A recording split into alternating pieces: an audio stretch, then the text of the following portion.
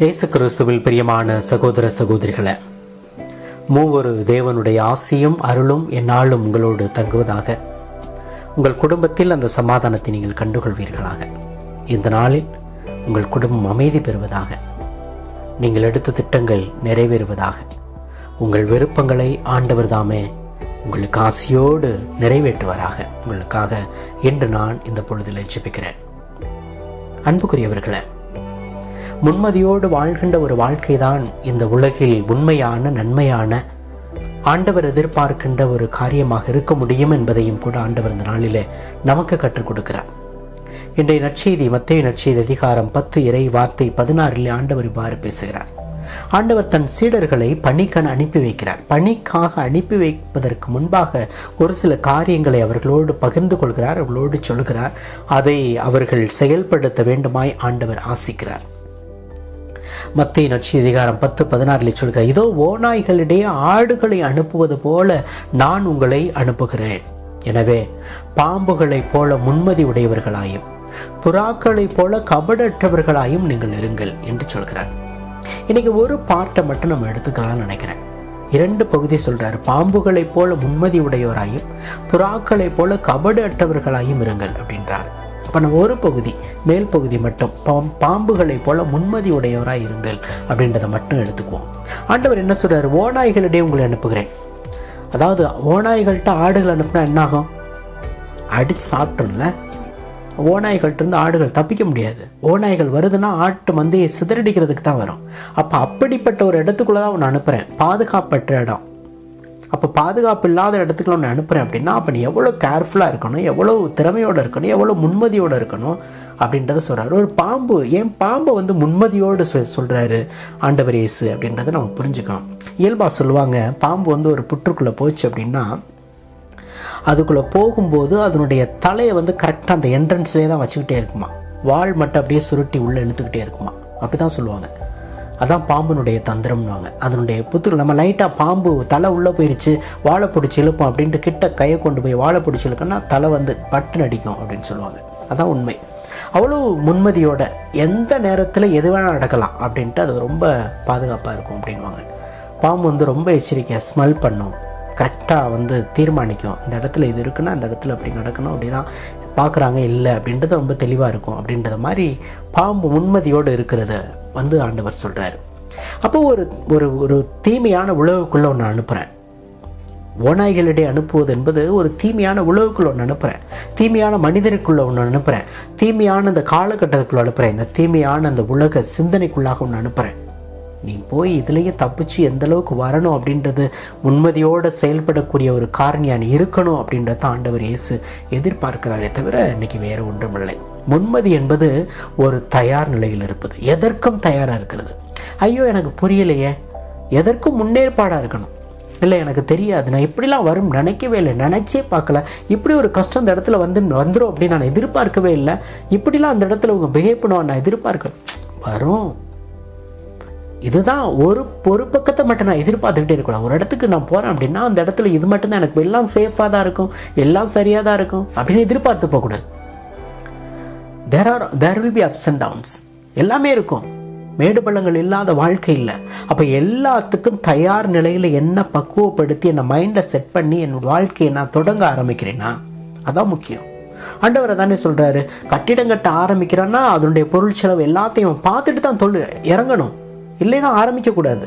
அதான் ஆண்டவர் சொல்லுவார் கட்டிடம் கட்ட தொடங்கினா பாதியில் விட்டு விட்டான். அப்படின்றது மாதிரி ஆண்டவர் நிச்சயத்தில் சொல்லுவார். உண்மை அதுதான். அதைத்தான் ஆண்டவர் சொல்கிறார் கலை கலப்பையில் கை வைத்தவன் பின்னோக்கி பார்க்கக்கூடாது. ஒரு இடத்து இலக்க நோக்கி நடக்க ஆரம்பிச்சிட்டியா? செயல்படுத்த ஆரம்பிச்சிட்டியா? இந்த இடத்துக்கு நீ போகணும் முடிவு பண்ணிட்டியா? இந்த பணிகள் நீ போக நினச்சிட்டியா? இந்த காரியத்தை எடுக்க நினச்சிட்டியா? அது கடைசி வரை நிலைத்து அது என்ன ஆனாலும் முன்மதியோடு செயல்படுறதுக்கு என்ன துன்பம்னாலும் என்ன வேதனைனாலும் அதில் நிலைச்சிருந்து செயல்படுறதுக்கு உனக்கு தகுந்த சக்தியும் ஆற்றலும் உனக்கு வேணும். இல்லை அப்படின்னா இல்லை. எச்சரிக்கையான காரியங்கள் நீ செஞ்சு முன்னேற்பாடாக இருந்திருக்கணும். தற்காப்பு காரியங்களையும் செஞ்சுருக்கணும். உன்னை பாதுகாத்து கொள்கிற காரியங்களையும் செஞ்சுருக்கணும். அதுக்குள்ளேயும் தகுந்த தயாரிப்பு எல்லாத்துக்கும் உனக்கு தேவைப்படும். எல்லாவற்றிற்கும் உனக்கு வந்து முன்னேற்பாடாக நீ செய்யக்கூடிய ஒரு சில காரியங்கள் செஞ்சு தான் தீர்மானிக்குமே தவிர போன பிறகு யோசித்துக்கிட்டு காத்துக்கிட்டு இருக்கக்கூடாது. அதான் ஆண்டவர் சொல்கிறார் ஒரு ஒரு எக்ஸாம்பிள் எடுப்போமே. ஒரு மேரேஜ் அப்படின்றது சாதாரண காரியமா? இல்லை. திருமணம் அப்படின்றது ஒரு சாதாரண காரியம் இல்லை ஏதோ எனக்கு ஒரு மனைவி கிடைச்சா போதும் எனக்கு ஒரு கணவன் கிடைச்சா போதும் நான் கல்யாணத்தை பண்ணிக்குவேன் இருந்துக்குவேன். அப்படின்னா யூ கெனாட் லிவ் டுகெதர் கடைசி வரை இருக்க முடியாது சேர்ந்துருக்க முடியாது. ஏதோ ஒரு க மனைவி வேணும் ஏதோ ஒரு கணவன் வேணும் அப்படின்றது இல்லை. திருமணம் என்பது கணவன் மனைவி வேணும். ஆனால் அந்த கணவன் மனைவி கடைசி வரை என் அப்படியே கஷ்டம் இல்லாமே என் மனைவி கொண்டு போவாங்க. கஷ்டம் இல்லாமே என் கணவன் க ஓடுவார். அல்லது கஷ்டம் இல்லாமலே எந்த கஷ்டமும் எங்களுக்குள்ளே வராது மிஸ் அண்டர்ஸ்டாண்டிங் வராது எதுவுமே வராது. ஜாலியாக போயிட்டுருப்போம் அப்படி இல்லை எல்லாமே இருக்கும். எல்லாம் இந்த பொண்ணை நான் அப்படி லவ் பண்ணேன் அப்படி பார்த்தேன் இப்படி பார்த்தேன் இந்த பொண்ணை இப்படி தான் இப்படி இருக்கும் நான் எதிர்பார்க்கவே இல்லை. இப்படி பேசுன்னு எதிர்பார்க்கவில்லை இதை மனசுலேயே வச்சுக்கிட்டு பேசுது இப்படி எதிர்பார்த்துட்டு இருப்பாங்க. இந்த பையன் இப்படி இருக்க மாட்டேன் இப்படி வந்து எல்லாம் செலவு பண்ணா நல்லா பார்த்துக்கிட்டான் என்னை கேர் எடுத்துக்கிட்டான் அப்படி தான் நினச்சேன். என் ஒன்றுமே இப்படி இருக்கான் அப்படி இருக்கான். அதுக்கு பிறகு நம்ம குறை சொல்கிறதுல என்ன இருக்குது? அப்போ முன்மதி அப்படின்றது வந்து இதெல்லாம் இருக்கும் அப்படின்னு தெரிஞ்சே என் வாழ்க்கையில் இதையும் சமாளித்து எப்படி கொண்டு போகணும் அப்படின்ற ஒரு கடைசி வரை அந்த அன்பில் நிலைச்சிருக்கிற ஒரு ஒரு அர்த்தத்தை என் வாழ்க்கையில் கண்டுகொள்ளணும். அது இல்லை அப்படின்னா கஷ்டம். அதான் முன்மதி. பிரச்சனைகள் வரும். வாழ்க்கையில் தோல்விகள் வரும். விரக்திகள் வரும். ஆனால் ஒருபோதும் அந்த வாழ்க்கையை விட்டு கொடுத்துடக்கூடாது அப்படின்றதான் உண்மை. விட்டு கொடுத்துட்டோம் அப்படின்னு சொன்னால் அதில் வந்து அதில் அப்போ நம்ம எடுத்த ஸ்டெப்பில் அப்போ வந்து அர்த்தம் இல்லை. அப்போ ஓநாய்கள் வருது அப்படின்றதுக்கு ஆடு பயந்து ஓடுது அப்படின்னா அர்த்தம் இல்லை. ஆண்டவர் அதுக்காக ஓடு அப்படின்னு சொல்ல உனக்கு தேவையானதை நீ செய்யணும். கரெக்டாக இருக்கணும். பாதுகாத்துக்கிறணும். ஓநாய்களிடையே ஆடுகளை போல் அனுப்புகிறேன் எந்த சூழ்நிலையிலும் எந்த இடத்துலையும் ஒன்றை தற்காத்து கொள்றதுக்கு நீ தகுந்த முறையில் நீ இருக்கணும். அந்த தகுந்த முறை என்பது இறுதி வரை நீ எடுத்த நிலைப்பாட்டில் சரியாக இருக்கணும். அதுதான் ரொம்ப முக்கியம். இயேசு கிறிஸ்துவில் பிரியமானவர்களே மத்திய நட்சத்திர அதிகாரம் இருபத்தி ஐந்து இறைவார்த்தை நான்கில் பார்க்கலாம். அந்த தொடக்கத்திலிருந்தே பார்க்கலாம். பத்து கண்ணியர் ஓமையை பார்க்கலாம். ஐந்து கண்ணியர்கள் வந்து விவேகம் உள்ளவர்கள் முன்மதி உடையவர்கள் ஐந்து முன்மதியற்ற கண்ணியர்கள். இந்த முன்மதி உடைய கண்ணியர்கள் நினைச்சாலும் தங்களோட விளக்குகளுடன் கலன்களில் எண்ணங்கள் எண்ணெயையும் கொண்டு போனார்கள். எல்லாவற்றையும் எப்போ மணமகன் வருவார் எப்போ கூப்பிடுவார் தெரியாது. அதுக்கு பிறகு அவர்கள் வந்து தயார் பண்ண முடியாது எடுத்து வைக்க முடியாது எதுவும் செய்ய முடியாது. ஆனால் முன்மதி உடையவர்கள் எதற்கும் தயாராக இருக்கணும் அப்படின்றது அந்த தூக்க நேரத்துலையும் கூட தயாராக இருக்கணும் அப்படின்ற ஒரு உணர்வு இருக்கு பாருங்க. ஐயோ நான் அசந்துட்டேன். வந்தது தெரியல எனக்கு கூப்பிட்டது தெரியல எனக்கு காது கேட்கல எனக்கு விளக்கு இல்லை அணைஞ்சு போச்சு. இல்லை I should be always ready for anything and every எந்த நேரத்திலையும் தயாராக இருக்கக்கூடிய ஒரு மன மனநிலை என்பது தேவை. ஐயோ நான் இல்லை எந்த சூழ்நிலையிலும் தன்னை தவறுகிறோம் அப்படின்றத வந்து ஒருபோதும் விட்டுவிடக்கூடாது. அதில் எந்த நிலையிலும் தவறாது அதை பயன்படுத்தி கொள்ள அதிலிருந்து நம்மை காத்து கொள்ள அதில் அந்த நிலைக்கு நம்மையே உட்படுத்தி கொள்ள ஒரு நல்ல மனநிலையை பக்குவப்படுத்த வேண்டும் என்பதைத்தான் ஆண்டவர் இயேசு நம்மிடம் எதிர்பார்க்கிறார். இயேசு கிறிஸ்துவில் பிரியமான அதுக்காக சூழ்நிலையை வந்து குறை சொல்லிக்கிட்டு இருக்கக்கூடாது. ஓநாய்கள்ட்ட அனுப்பிச்சிட்டிங்க நான் எப்படி பாதுகாக்கிறது? என்கிட்ட வந்து எப்படி இருக்கிறது? ஓநாய்கள்ட்ட எப்படி நான் தப்பிக்கிறது? அப்படியே பேசிக்கிட்டு இருக்கக்கூடாது ஓநாய்களிடையே உன் உன்னை ஆடுகளை போல தான் அனுப்புகிறேன். ஆனால் பட் யூ ஷுட் பி போல்டனா ஆனால் அதுக்காக ஓநாயில் விரட்டிக்கிட்டு தெரியணும் தேவையில்லை. ஓநாயில் நீ வந்து விரட்டிக்கிட்டு அதை போட்டு ஐயோ இது ஒவ்வொன்றா காலி பண்ணாதான் என் வாழ்க்கை நல்லா இருக்கும். இல்லை அப்படி சொல்ல ஆண்டவர். தீமைக்கு மத்தியிலும் நன்மையாய் உன்னால் இருக்க முடியும்னு நான் நினச்சி பார்த்தேன் அப்படின்னா அதான் வாழ்க்கையில் இருக்கக்கூடிய மிகப்பெரிய சக்தி. வின்ஸ்டன் சர்ச்சில் அப்படின்றவர் ஒரு அருமையான ஒரு வாக்கியம் சொல்வார். என்ன அப்படின்னா உங்களை பார்த்து குறைக்கும் ஒவ்வொரு நாயின் மீதும் நீங்கள் கல் கல்லறிந்து கொண்டே இருந்தால் உங்கள் இலக்கை உங்களால் ஒருபோதும் அடைய முடியாது. உங்களை பார்த்து குறைக்கும் ஒவ்வொரு நாயின் மீதும் நீங்கள் கல்லறிந்து கொண்டே பார்க்குற ஓநாய் மீதும் க- நாய் மீதும் நீங்கள் கல்லறிஞ்சிக்கிட்டே இருந்தீங்கன்னா ஒவ்வொன்றையும் காரணம் பண்ணிக்கிட்டு இருக்கேன்னு தேவையில்லை. உங்கள் இலக்கு என்ன ஆயிரும்?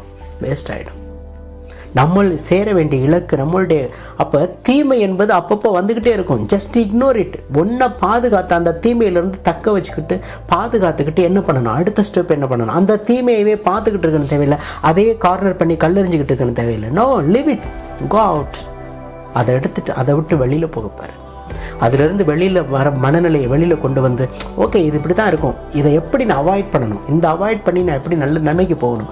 அப்படின்ற ஒரு மனநிலைக்குள்ளாக நான் வருகிற போது கண்டிப்பாக நல்லதை என் வாழ்வில் நான் கண்டுகொள்ள முடியும். நீதிமொழிகள் புத்தகத்தில் ஆண்டவர் அருமையாக சொல்வார். அதிகாரம் மூன்று இறைவார்த்தை இருபத்தி ஒன்றில் சொல்வார் பிள்ளாய் விவேகத்தையும் முன்மதியையும் பற்றிக்கொள்ளும் இவற்றை எப்போதும் உன் கண் முன் நிறுத்திவை பிள்ளாய் விவேகத்தையும் முன்மதியையும் எப்போதும் நீ பற்றிக்கொள். இவற்றை எப்போதும் உன் கண் முன்னால் நிறுத்தி வை அப்போ இந்த வார்த்தை என்பது இந்த முன்மதியை என் வாழ்வில் எப்போது விவேகம் முன்மதி இந்த இரண்டும் ஒன்று போல் போக வேண்டும். நம் வாழ்க்கையில் எப்பயுமே வேணும். அதுக்கு தான் ஆண்டவர் தன் சீடர்களை எச்சரிக்கையாக இருங்கள். ஓநாய்களுடைய ஆட்டுக்குட்டிகளைப் போல் நான் உங்களை அனுப்புகிறேன். இயேசு கிறிஸ்துவில் பிரியமான சகோதர சகோதரிகளை நம் வாழ்க்கையில் எதை ஆண்டவர் தர வேண்டும் என்று எதிர்பார்க்கிறாரோ அதை கண்டிப்பாக கொடுப்பார். ஆனால் நாம் ஒரு சில காரியங்களை செய்ய வேண்டும் என்றால் அந்த மனதிடத்தோடு செல்லுகின்ற பயணத்தை நாம் ஒருபோதும் தளர்ந்து போய்விடக்கூடாது சோர்ந்து போய்விடக்கூடாது. ஆண்டவர் உடனிருக்கிறார் என்ற பக்குவத்தோடு துணிந்து செல்ல வேண்டும். அப்படித்தான் புனிதர்கள் சென்றார்கள். அப்படித்தான் ஆண்டவர் இயேசுடைய சீடர்களும் சென்றார்கள். அப்படிப்பட்ட ஒரு மனநிலையை நமது வாழ்விலும் எந்த ஒரு நிலைப்பாடு எடுத்தாலும் குடும்பத்தில் எடுத்தாலும் சரி சமூகத்தில் எடுத்தாலும் சரி எந்த ஒரு வேலை தளத்தில் எடுத்தாலும் சரி உங்களுக்கென்று இருக்கின்ற காரியங்களை ஒருபோதும் நீங்கள் முன்னெச்சரிக்கையோடு செய்து கொண்டு செல்லுங்கள். உங்கள் வாழ்வில் ஒருபோதும் நீங்கள் தளர்ந்து போய்விட மாட்டீர்கள் சோர்ந்து போய்விட மாட்டீர்கள். ஜெபிப்போமா? எங்களை நேசிக்கிற நல்ல தந்தையை ஆசிக்கிற ஆசி கொடுக்கிறவரை. அன்பு செய்கிற நல்ல பிதாவை இரக்கம் காட்டுகிறவரே கருணையோடு எங்களை வழிநடத்துகிறவரே உமது தெய்வீக திருப்பாதத்தில் எங்களை அர்ப்பணம் செய்கிறோம். ஆண்டவரே நாங்களும் முன்மதி உடைய பிள்ளைகளாக இந்த உலகத்தில் ஒவ்வொரு நாளும் வாழ எங்களுக்கு தேவையான ஞானத்தையும் ஆசியையும் அருளையும் நிறைவாய் தர வேண்டும் என்று உங்கள் பாதத்தில் ஒப்புக் கொடுக்கிறோம் எங்கள் வாழ்வை ஆசீர்வதியும். இன்றைய நாளை ஆசீர்வதியும். எங்கள் வாழ்விலே இன்று நாள் முழுவதும் உமது உடனிருப்பும் தெய்வீக பிரசனமும் ஆவியின் வல்லமையும் தொடர்ந்து எங்களை வழிநடத்த வேண்டுமாய். உம் திருப்பாதத்தில் அர்ப்பணித்து ஜெபிக்கிறோம். எங்கள் ஜீவனுள்ள நல்ல பிதாவே. ஆமேன்.